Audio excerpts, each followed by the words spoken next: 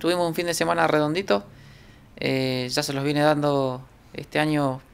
eh, venimos con, con tres triunfos, eh, un tercer puesto y un casi abandono por una rotura del destruidor, pero nada, nada, venimos muy bien, el auto estaba muy firme y venimos tratando de sumar para el campeonato, para tratar de, de llegar a fin de año y tratar de traer el 1 a San Martín.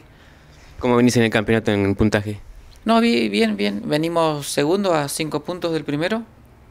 Eh, ahora sigue Junín de los Andes, 25, 26 y 27, que es puntaje doble. O sea, vamos a tratar de... El objetivo nuestro siempre es llegar. Obviamente que es mejor eh, estar siempre en el podio, pero bueno, la idea es llegar y sumar. Tenemos que sumar estos últimos tres carreras que quedan, tenemos que sumar los mejores puntos posibles. Y como decías, ahora viene Junín y no solo la oportunidad de quedar como líder del campeonato, sino de ser local, ¿no? Sí, sí, casi un 90% somos locales y, la idea es esa. Vamos a tratar de, primero llegar, ¿sí?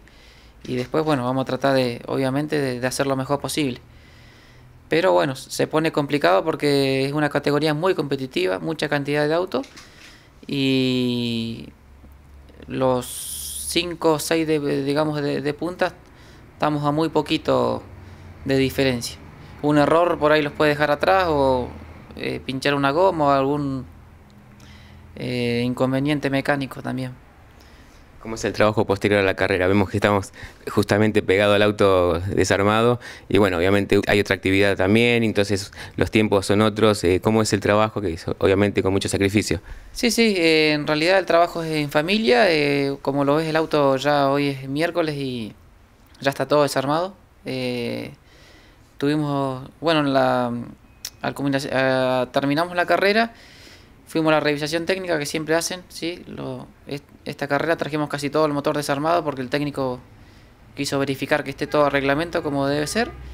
Estaba todo perfecto, bueno, ahora tenemos que armar el motor de nuevo, hacerle un repaso general del, del auto y algún elemento que haya que cambiar hay que cambiar.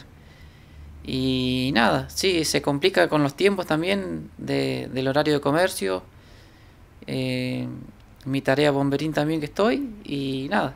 Pero también con mucho orgullo porque lo hacemos en familia y las cosas se están dando también. Y siempre me da una mano Daniel San Martín.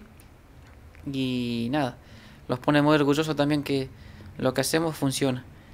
Bueno, vos hablas mucho de la familia y la familia obviamente muy fierrera, eh, ya viene de hace años esto. Sí, sí, ya arrancamos. Yo soy, digamos, de la categoría 85, pero mi papá se inició también en, el rally, no, no se, digamos, no se dedicó siempre a lo que es el rally, pero lo- los fierros los llevamos en el corazón. Hay que tratar de llevarlo bien alto. Bueno, y ahora esperando obviamente fin de mes como para poder llegar a Junín, aparte de la localía que obviamente van a sentir el, el entusiasmo de la gente, ¿qué otros beneficios hay? Obviamente el circuito lo van a conocer un poco más que otros lugares. Sí, sí, eh, todavía hemos sentido rumores por dónde se puede llegar a hacer, pero hasta que no se confirme eh, no vamos a saber bien dónde se hace, pero obviamente sí que uno siempre conoce los caminos acá de la cordillera, que también por ahí tenemos un puntito a favor. Y nada, la idea es tratar de hacerlo lo mejor posible y darle una alegría a San Martín. Déjame felicitar a, a Pirincho Vera, que prácticamente hay un equipo armado, digamos, de San Martín, a Brian Torres, eh, que están, se está iniciando en, el, lo que es el rally y, y anduvo muy bien. Y bueno, es un, déjame contarte que es un grupo muy lindo, muy unido. Los damos una mano entre todos y eso es lo, lo fundamental, ¿sí? Y bueno, les deseo lo mejor posible a todos los pilotos de San Martín, los de Junín también. Y, y déjame agradecerle especialmente a mi familia y a la familia de San Martín, que me da una mano enorme.